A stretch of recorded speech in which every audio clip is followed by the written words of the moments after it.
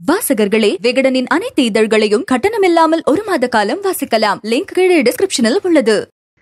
ஆனா கருத்துரை பகுதிக்கு உங்களை அன்போடு வரவேற்கிறேன். ஆமா.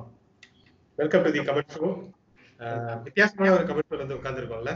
ஆமாண்ணா என்னன்னா நம்ம ரெண்டு பேருமே இந்த மாடர்ன் சைஸ் ஆதார் கார்டுல உட்காந்துருப்போம் மாதிரியே உட்காந்துருக்கோம் நான் சிஸ்டத்தை இவ்வளவுதான் ரொம்ப தள்ளி வச்சு தான் உட்காந்துருக்கீங்க அப்புறம் என் கை எட்டவே இல்லை சிஸ்டத்துக்கு எனக்கும். ஆனா வந்து ரொம்ப க்ளோஸ் அப்ல தான் பயங்கரமா தெரியுறோம் போல இருக்கு.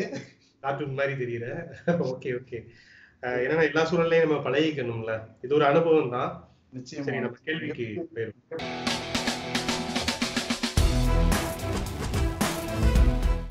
Rock sealed tell me about Cuba medicines அப்படின்னு கேள்வி கேட்டிருக்காரு. ஏன் அப்படின்னா கியூபால தான் வந்து மக்கள் கொஞ்சம் வெகு விரைவா குணமாகிட்டு இருக்காங்க அப்படிங்கிற ஒரு தகவல் இருக்கு. இன்னொரு பக்கம் என்னன்னா இத்தாலி போன்ற பல நாடுகளுக்குமே அந்த கியூபா மருத்துவர்கள் தான் இப்ப உதவி செய்யறாங்கல்ல அதனால கியூபா மெடிசின்ஸ்ல ஏதாவது மிராக்கல் இருக்கா மேஜிக் இருக்கா அப்படிங்கிற மாதிரி கேள்வி எல்லாருக்குமே இருக்கு. அதனால அந்த கேள்வி கேட்டிருக்காருன்னு நினைக்கிறேன். முதல்ல வந்து கியூபா வந்து ஒரு வித்தியாசமான ஒரு நாடு. அந்த நாடை வந்து நம்ம பாராட்டி ஆகணும். கம்யூனிச தத்துவத்தை ஃபாலோ பண்ணக்கூடிய நாடு ஃபிடல் காஸ்ட்ரோ மற்றும் சேகுவேராவுடைய அவங்களுடைய ஆட்சி ஆளுகையின் கீழே இருந்த ஒரு நாடு அப்படிங்கிற ஒரு விஷயத்தெல்லாம் தாண்டி மருத்துவத்துக்கு அவங்க வந்து முன்னுரிமை கொடுக்கறது அந்த வரலாற்றுல இருந்தே ஆரம்பிக்கலாம் கிட்டத்தட்ட பாத்தீங்கன்னா ஆயிரத்தி எண்ணூத்தி அறுபத்தி ரெண்டுல இருந்து எழுபத்தெட்டு வரைக்கும் அந்த சுதந்திர போருக்கெல்லாம் பிறகு கியூபா வந்து ஒரு பாகிஸ்தா ஜல்தியார் அப்படிங்கிற ஒருத்தர்கிட்ட அதாவது பாகிஸ்தா ஜல்திபார் அப்படிங்கிறவர்கிட்ட அடிமைப்பட்டு கிடக்கு. அதுல இருந்து ஃபிடல் காஸ்ட்ரோவும் சேகுவராவும் தான் மீட்டு கொண்டு வர்றாங்க. எல்லாருக்குமே தெரியும் சேகுவரா வந்து ஒரு மருத்துவர். ஸோ மருத்துவ புரட்சிப்படை அமைதிப்படை அப்படிங்கிற மாதிரியான ஒரு விஷயத்த ஹென்ரி ரியூ தலைமை வந்து உருவாக்குறாரு. அப்ப என்ன ஒரு முடிவு எடுக்கிறாங்கன்னா உலகத்துல முதன்மையான மருத்துவ வசதி கொண்ட ஒரு நாடா இந்த கியூபாவை மாத்தணும்னு சொல்லிட்டு முடிவு பண்றாங்க. அன்னையில இருந்து பாத்தீங்கன்னு வச்சுக்கோங்க கிட்டத்தட்ட பார்த்தா முப்பதாயிரம் மருத்துவர்கள் இன்றைய நிலைமையில அறுபத்தோரு நாடுகள்ல இருக்காங்களா? இங்க இருந்து வெளியில போங்க போய் உங்களுடைய சேவையை பண்ணுங்க அப்படின்னு சொல்லி செஞ்சிருக்காங்க.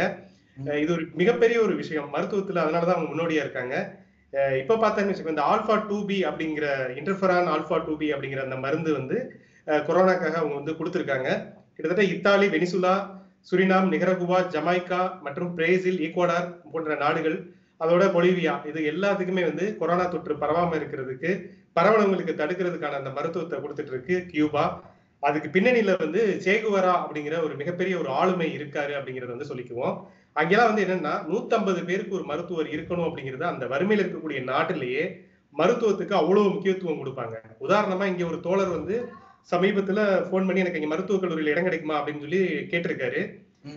அவங்க உடனே வந்து அட்மிட் பண்ணிக்கங்க அட்மிஷன் போட்டுக்கலாம் அப்படின்னு சொல்லியிருக்காங்க. என்கிட்ட பணம் இல்லை அப்படின்னா ஒரு பிரச்சனை இல்லை நீங்க கிளம்பி வாங்க அப்படின்னு தான் சொல்லியிருக்காங்க. சோ இந்த அளவுக்கு உலகத்துல இருக்கக்கூடிய எல்லாருக்குமே மருத்துவ வசதியை இலவசமா கொடுக்கக்கூடிய நாடும் அது. அதையும் நம்ம பதிவு பண்ணிக்குவோம் வசதி. நிச்சயமா டபிள்யூஹெச்ஓவே வந்து ஆயிரம் பேருக்கு ஒரு மருத்துவர் தான் சொல்லியிருக்காங்க. பட் கியூபா 150 பேருக்கு ஒரு மருத்துவங்கிறது நிச்சயம் ஒரு பெரிய விஷயம் தான் பாராட்டத்தக்க வேண்டிய விஷயம் தான். எல்லா நாடுகளுமே கடைபிடிக்கணும். முக்கியமா இந்த இந்தியால நீட்டு அது இதுன்னு கொண்டு வந்து மருத்துவம் படிக்கிறவனையும் படிக்க விட மாட்டதெல்லாம் இருக்குல்ல. அது எங்க போய் நம்ம சொல்றது? சரி ஓகே. பாராட்ட வேண்டிய ஒரு விஷயம். சுதர்சன செந்தில். ம். பண மதிப்பிழப்பு வெர்சஸ் கொரோனா வைரஸ் எது அதிக பாதிப்பு அப்படின்னு இருக்காங்க? இந்த ஒப்பீடே வந்து பயங்கரமா இருக்கு. ஆனா என்னன்னா அஹ், பண மதிப்பிழப்பு அப்படிங்கிற ஒரு விஷயம் வந்த பிறகு மக்கள் வந்து கொஞ்சம் கொஞ்சமா அதுல இருந்து மீண்டு வரக்கூடிய சில விஷயங்களை பண்ணிட்டாங்க. வேற ஒரு பணிக்கு போறதுல ஆரம்பிச்சு அடுத்து ஒரு பட்ஜெட்ல அவங்க வேற வேற விஷயங்கள் நடைமுறைக்கு கொண்டு வந்துருவாங்க.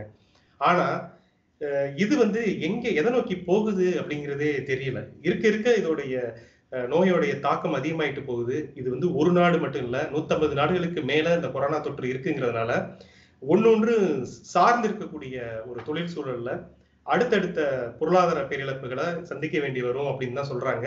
இப்பவே பொருளாதார வளர்ந்து கிட்டத்தட்ட பத்து லட்சம் கோடி இந்தியாவுக்கு இதன் மூலமாக மிகப்பெரிய ஒரு இழப்பு ஏற்பட்டிருக்கும். சர்வதேச அரங்குல அப்படின்னே ஒரு பார்வையை முன்வைக்கிறாங்க. ஸோ வந்து பண மதிப்பிழப்பெல்லாம் கம்பேர் பண்ணவே முடியாது. இது மிகப்பெரிய ஒரு பேரிடர் தான். இதுல இருந்து எப்படி மீண்டு வருவோம் அப்படிங்கிறது தான் இப்ப உலக நாடுகள் எல்லாத்துக்குமே சவால். குறிப்பா நம்மளுக்கும் அது மிகப்பெரிய சவால். அதனால வந்து வளர்ந்து வந்துட்டு இருக்கோம். இப்ப இப்படி ஒரு இயற்கை பேரிடர் அது வந்து ஒரு வைரஸால இப்படி ஏற்பட்டிருக்கிறது ரொம்ப வேதனை தான். இதுதான் மிகப்பெரிய இழப்பு. சரோஜா பாலசுப்ரமணியன் நம் நாட்டில் சீனாவை போல மருத்துவர்களுக்கும் செவிலியர்களுக்கும் பாதுகாப்பு உபகரணங்கள் கொடுக்கப்படவில்லை ஏன்னு கேள்விட்டு இருக்காங்க ஏன்னா இல்ல. ஏன்னா இல்ல. அது ஏன் இல்ல அப்படிங்கிறது தான் இப்ப வந்து பதில். என்னன்னா கடந்த சில மாதங்களுக்கு முன்பு சைனால வந்து இந்த கொரோனா வைரஸ் தாக்கம் அதிகமா இருந்தப்ப சைனா வந்து நம்மள்ட்ட ஒரு உதவி கேட்டது. இங்க இருக்கக்கூடிய வெண்டிலேட்டர் ஆகட்டும் மாஸ்க் வரைக்குமான விஷயங்களை அதிக அளவுல தேவைப்பட்டதுனால ஏன்னா அவங்க பாப்புலேஷன்ல அதிக அளவுல நிறைய பேர் பாதிக்கப்பட்டதுனால இங்க கொள்முதல் பண்ணாங்க.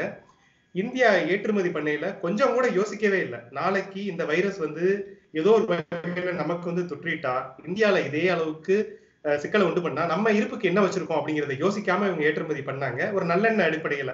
ஏன்னா சீனாவோட ஒரு உறவு எப்பவுமே மெயின்டைன் பண்ணணும்னு நினைக்கக்கூடிய நாடுதான் அஹ், இந்தியா. ஆனா இந்த சூழல் வந்து ஒரு பாதகம் ஆயிடுச்சு இன்னைக்கு. இன்னைக்கு நமக்கே வந்து நமக்கு மிஞ்சினாதானே தனக்கு மிஞ்சினாதானே தானமும் தர்மமும் சொல்லுவாங்கல்ல. அந்த மாதிரி இருக்கிற எல்லாத்தையும் இன்க்ளூடிங் கோவணத்தை கூட கண்டி கொடுத்த மாதிரி இன்னைக்கு ஆயிடுச்சு. நமக்கு இன்னைக்கு மிகப்பெரிய ஒரு பற்றாக்குறையா இருக்கு. ரொம்ப ஒரு வேதனையான விஷயம் என்னன்னா இருபத்தோராம் தேதி இந்த ஜட்டா கர்ஃபியூ எல்லாம் சொன்னார்ல. அப்பதான் ஏற்றுமதியவே அபிசியலாவே இந்தியா வந்து நிறுத்துது. அது வரைக்கும் உதவி செஞ்சுட்டு தான் இருக்காங்க. உதவி செய்யறது ரைட்டு தான்.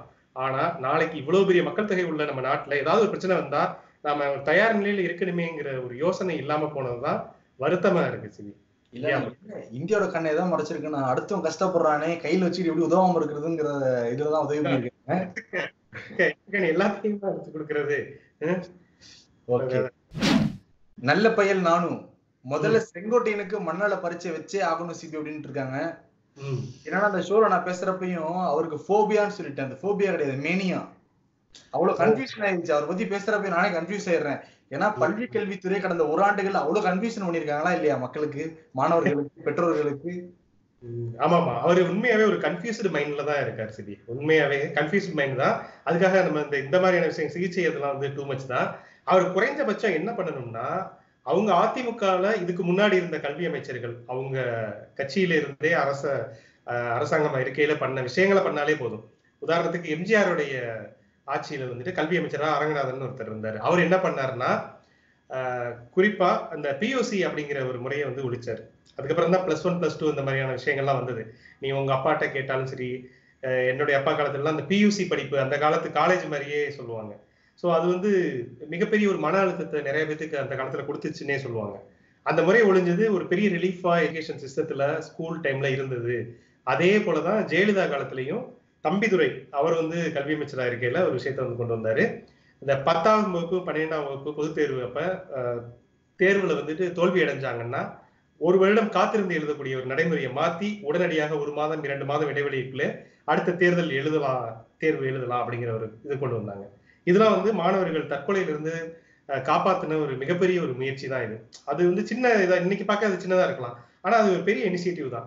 இந்த மாதிரி பாசிட்டிவா மாணவர் நலன் சார்ந்த ஒரு விஷயத்த அவர் நம்ம பண்ணணும் நம்மளும் ஸ்கோர் பண்ணணும் வரலாற்றுல ஏதாவது ஒண்ணு இடம் பிடிக்கணும்னு நினைச்சா அவர் பண்ணலாம். ஆனா இவருடைய நினைப்பு ஃபுல்லா என்னன்னா மத்திய அரசு ஏதாவது ஒண்ணு சொல்லுதா அதை விழுந்தடிச்சிட்டு நம்ம ஒண்ணு பண்ணிடணும் அப்படின்னு சொல்லி அங்க பரிசீலனை செஞ்சுட்டு இருந்தாங்கன்னா இங்க வந்து அவர் நிகழ்த்திடுறாரு. இது மிக ஒரு தவறான அணுகுமுறை தான். அஞ்சாம் வகுப்பு மாணவனுக்கு வந்து பொதுத் தேர்வுன்னு யோசித்து பார்த்தாலே அது நாராசமா இருக்கிற ஒரு விஷயம். இது ஏன் இவர் கங்கணம் கட்டிக்கிட்டு அதை பண்ணணும்னு நினைக்கிறாரு? அப்ப மத்திய அரசோடைய ஒரு அடிவடித்தனம் தான் இது அதோட வெளிப்பாடு தான் இது. அவருடைய போக்கை மாத்தி ஆ. எடப்பாடி பழனிசாமி அவர் தான் கட்சிகளை கூட்டிட்டு வந்து பொறுப்புகளை கொடுத்து வாங்கி கொடுத்து முதலமைச்சர் ஆயிட்டாப்ல நமக்கு நம்ம கூட்டு வந்த பையன் நமக்கு மேல போய் வந்துட்டு என்னப்பா அந்த பதட்டமே இருக்கும் போல இருக்கு. இதனாலதான் ஆளு ஒரு மாதிரி குழம்பி இருக்காரு போல இருக்கு. ஓகே. சுப்பு ராயுலு மோகன்தாஸ். யாரையும் கேட்காமல் பினராயி விஜயன் இருபதாயிரம் கோடி ஒதுக்கினாரே எப்படி அப்படின்னு கேள்வி எழுப்பியிருக்கார். இதுல வந்து ஒதுக்குனாரு அப்படின்னு சொல்லிட்டு மத்திய அரசு கேட்கணும் அப்படின்னு நினைக்கிறாரு. என்னன்னா மாநில அரசுடைய ஃபண்ட் இருக்கு. அதை வச்சுட்டு தான் அவர் வந்து நிதி ஒதுக்குறாரு. ஸோ இது வந்து யாரும் கேள்வி கேட்கிற எந்த ஒரு ரைட்ஸும் இல்லை. அதை தாண்டி இன்னைக்கு எப்படி வந்து அமெரிக்கா லேட்டா வந்தாலும் அந்த கொரோனா தொற்றுல வந்து இன்னைக்கு இத்தாலியெல்லாம் ஓவர்டேக் பண்ணிட்டு போற அளவுக்கு அதோடைய வேகம் குரோத் ரேட் அதிகமா இருக்குல்ல. அதே போல இந்தியாவிலேயே கொரோனா கொரோனாவுடைய தொற்று வந்து அதிக லெவல்ல போயிட்டு இருக்கக்கூடிய ஒரு மாநிலமா கேரளா இருக்கு. ஸோ அந்த ஒரு பதட்டத்தில் அவர் வந்து நிதியை வந்து ஒதுக்கி நிறைய செலவு பண்றாரு. ஆனால் தேவைப்படக்கூடிய ஒரு விஷயம்தான். இது இன்னும் கூட அதிக அளவில் பணம் வந்து தேவைப்படும். ஏன்னா இந்த கொரோனா தொற்று கேரளாவோட முடிவடைந்து விடாது. பக்கத்தில் இருக்கக்கூடிய நமக்குமே அது சிக்கல். ஏன்னா எப்பவுமே கேரளா வந்து அவங்களுடைய வர்த்தக ரீதியான தொடர்புகள் எல்லாமே வந்து தமிழகத்தோட தான் அதிக அளவில் இருக்கும். அப்படி பட்சத்துல கேரளா ரொம்ப ஒரு கவனமா கிட்டத்தட்ட ஒட்டுமொத்த கேரளாவுமே குவாரண்டைன் பண்ணப்படக்கூடிய ஒரு சூழல் மாதிரி. எப்படி இந்த நிபா வைரஸ் அப்ப அவங்க ஒரு போர்க்கால நடவடிக்கை எடுத்தாங்களோ ஒரு ராணுவ கட்டுப்பாட்டோட அந்த ஒரு இடத்துக்கு இப்ப வந்திருக்காங்க. சென்னை புயல் வெள்ளத்துக்கு அப்புறம் அங்கே ஒரு வெள்ளம் வந்தப்ப எந்த அளவுக்கு ஒருங்கிணைந்து பணியாற்றினாங்களோ அது மாதிரி எதிர்க்கட்சி ஆளுங்கட்சி எல்லாரும் சேர்ந்து ஒன்றிணைந்து செய்ய வேண்டிய ஒரு இடத்துக்கு இன்னைக்கு கேரளா வந்திருக்கு. நிறைய பார்த்தேன்னு வச்சுக்குவேன் நம்ம சோலையை சொன்ன மாதிரி அரசு அதிகாரிகள் மற்றும் பொதுமக்கள்லயே அங்கே வந்து விழிப்புணர்வு இல்லை.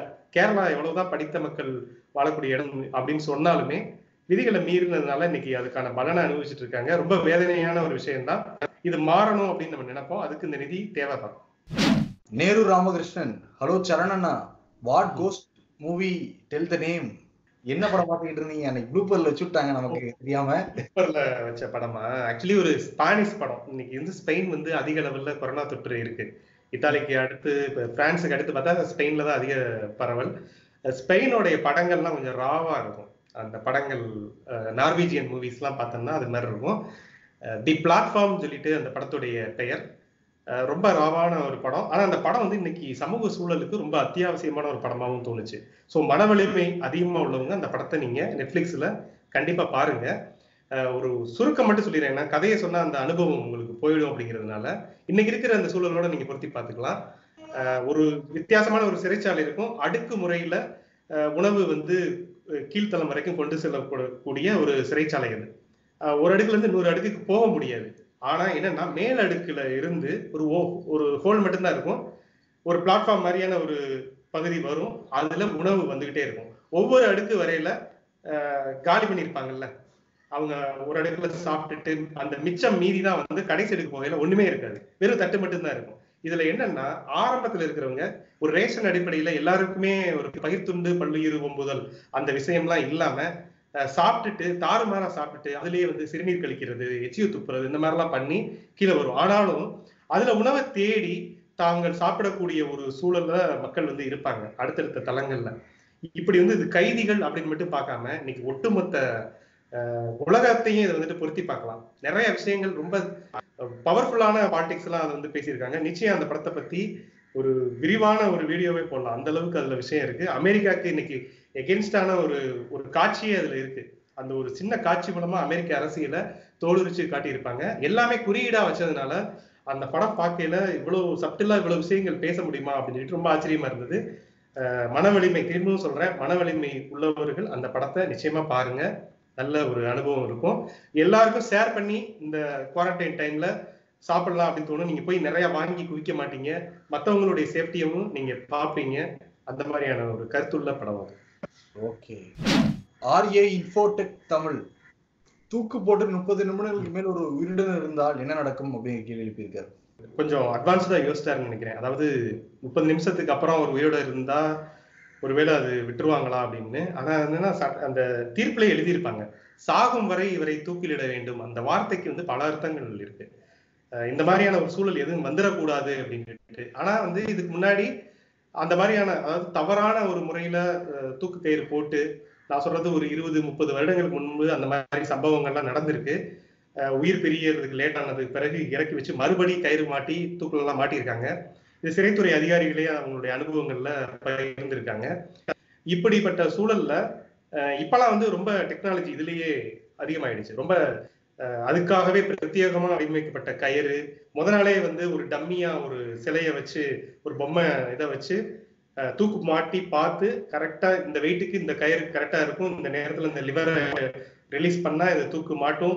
அரை மணி நேரம் கழிச்சு நம்ம இறக்கிடலாம் அப்படின்னு சொல்லி ஒரு ஒத்திகை பார்த்துட்டு பண்றதுனால அதுக்கான வாய்ப்பே இல்லாம போயிடுது. சரி ஏன்னா ஒரு டீட்டெயிலா சொல்றீங்க. இல்ல தூக்கு தூக்கு தண்டனைக்கு எதிரான ஒரு மனோபாவம் உள்ளவங்க தான் நாம. அவர் கேட்டதுனால இந்த பதில சொல்றேன். சிறைத்துறை அதிகாரிகள்ட்ட பேசி இந்த பதில சொல்றேன். சரி நான் சிறப்பு என்னன்னா நம்ம ஷோ பண்ண ஆரம்பிச்சு நைட் ஆயிடுச்சு போல இருக்கு. பின்னாடி ஷேடோலாம் விழுக ஆரம்பிச்சிருச்சு. ஆமாமா சூரியன் இங்கிட்டு மாறி போயிருச்சு. ஓகே ஓகே நம்ம பெஸ்டா கொடுத்துக்கிட்டு இருக்கோம். எங்கனால எவ்வளவு பெஸ்டா முடியுமோ கொடுத்துக்கிட்டு இருக்கோம். இந்த மாதிரி டெக்னிக்கல் பார்ட்ஸ் எல்லாம் மன்னிச்சு விட்டுருங்க. எவ்வளவு நாள் ஆகும் எனக்கே தெரியல. ஆமா இந்த லைட்டிங் இந்த மாதிரி இது இங்க கமெண்ட் ஷோல காமிக்கலாம்னு நினைக்கிறேன். இந்த மாதிரி ஒரு லைட் வச்சுட்டு. இவ்வளவு குறும்புகள் எல்லாம் பண்ணி இவ்வளவு சிக்கலோட தான் பண்றோம். அதே போல இந்த இந்த வெளியில வந்து தம்பி விளையாண்டுட்டு இருக்கான் குட்டி பையன். இப்போ வீட்டுல வந்து சத்தம் கேட்டுச்சு முன்னாடி.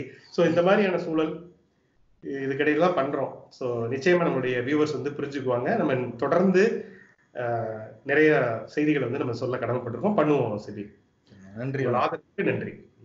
வாசகர்களே விகடனின் அனைத்து இதழ்களையும் கட்டணமில்லாமல் ஒரு மாத காலம் வாசிக்கலாம். லிங்க் கீழே டிஸ்கிரிப்ஷனில் உள்ளது.